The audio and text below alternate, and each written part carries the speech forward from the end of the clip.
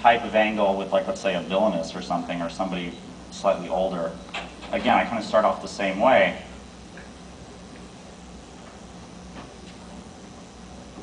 You know, you get your whole shape there, like that. But now I'll probably, I'll show you, you know, how things will start to look a little different. I mean, it's still, it's still the basic starting point.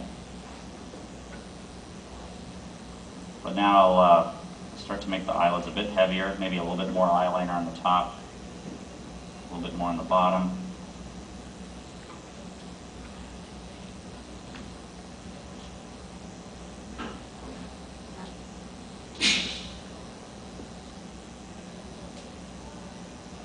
And again, now I'm making the, uh, the eyeliner touch the dark, uh, the pupil? Is that the dark part? Pupil part of the eye. You'd be surprised how many of us artists draw these things and don't know the official name. and, uh, and now I'll give her, maybe now that her eyelids are a little bit more heavy and, and, and kind of closed, I'll give her more of an upper eyelid to kind of like, kind of, you know, emphasize that.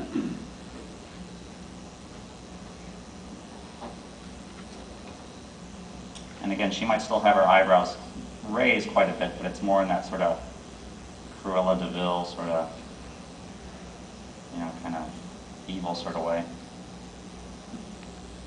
I'll maybe give her like a little bit, uh, let's see, see, I'm even skipping my own steps, I need to still.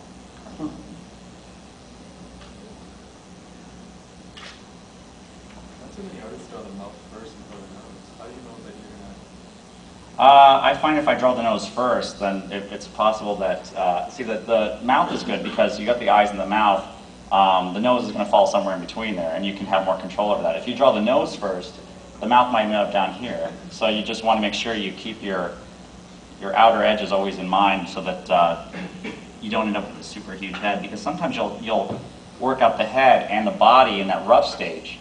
So you've got to make sure you stay within the real estate that you carved out for your head. Otherwise, your head, if it starts to grow based on the features you're adding, your head will grow compared to how you already worked out the body proportions to be. So you want to make sure you stay within the confines of what you roughed out.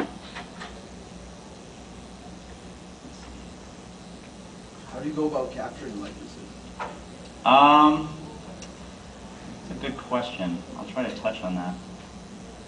I've seen some like Scarlett Johansson being drawn and stuff like that in books, like the actors. and Oh, stuff. thanks. That was, you know, that was my earliest influence was uh, Mad Magazine. I'm not sure if uh, Yeah. it's kind of like past its heyday in my opinion, but in the in the 70s, 80s period, like uh, there's a guy named Mort Drucker who did the most amazing caricatures, and he actually had a basis in comic book art, so he had more of a comic book approach to, to likenesses, and um, I found that. Uh, Again, with, with, with doing likenesses, it's not about getting caught up in the little details. You really have to take in the overall shape of somebody's face. Like if somebody's it's a celebrity, you really got to break down like, well, what is, what are those general like, like what are the things about this person that make them look like them at a glance? And like, is it the chiseled cheekbones? Is it a certain kind of nose? Is it the shape of their head? Do they have a long head? Do they have a? And I'm not even saying like beat over the, you know, you don't want to be like one of those guys uh, who does those really over, like, oh, guy has a slightly big nose, so you make his whole caricature a nose or something like that.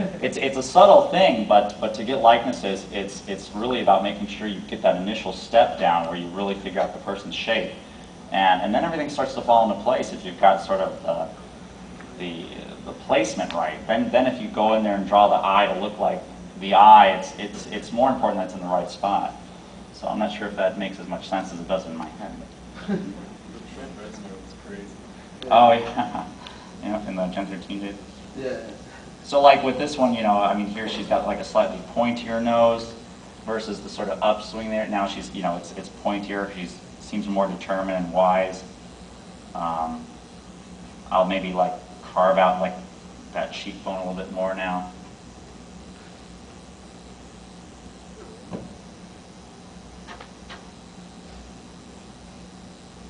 You guys can kind of see, and then maybe I'll, I'll emphasize this part here a little bit. You know, maybe she'll have long, straight, like, you know, Morticia Addams kind of hair. Mm-hmm. or something. Like very- Yeah, Baroness or something like that. You know, she'll be holding her goblet of wine here. like, yes, you know. I mean, you can see how you can kind of like start, uh, I mean, and, and basically both of these are just like, you know, the same basic start, but you know, here you've got the like, the young innocent heroine, you know, she almost has an Ariel kind of look to her or something there. And then you've got the, the villainess, or the white queen or something, I don't know, whatever, whatever you want it to be, pretty much there. But you get the sense. So that's a little bit about heads. As far as like uh, odd angles, it's, um, try to do a quick one here where you like tilt the head back.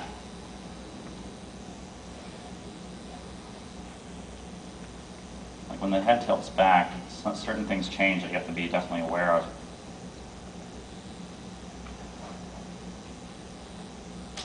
Like I said, a lot of those things, they- they're still in the same spot, but now the chin, now the space between the chin and the mouth, it gets a little bit greater because now the chin's pointing right at the camera. And uh, the lips tend to do this inverted triangle kind of look where it's, you know, you're looking up now at this person. The space, whereas normally it seems like the nose is closer to the mouth, once the head tilts back, the nose is going to be much closer to the eyes because of the way it's tilting.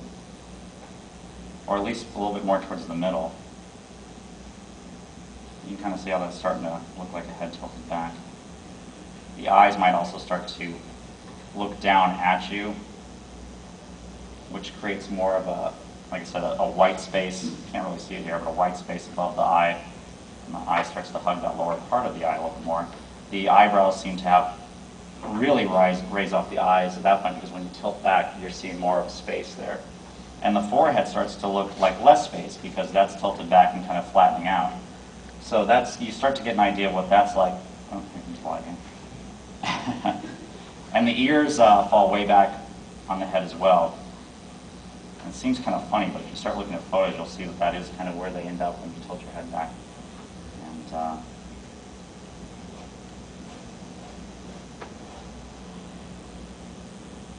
it's kind of a simple simplification, I guess, of that sort of thing. But that's that's sort of uh, a little bit of the thought process that goes on when you when you tilt the head back. Now, there's other angles that even I still struggle with. If it's like a you know really extreme, I mean, sometimes sometimes it's actually best to stay away from certain angles that just you struggle too much with. Try to find an alternate way to portray the same kind of shot. Like you know, well, if, that, if you're struggling with something too much, it's going to show, and uh, you know you want to pick an angle you're confident with. That's not to say you shouldn't experiment and still push yourself to do this kind of stuff, but if it's not working, just try something else.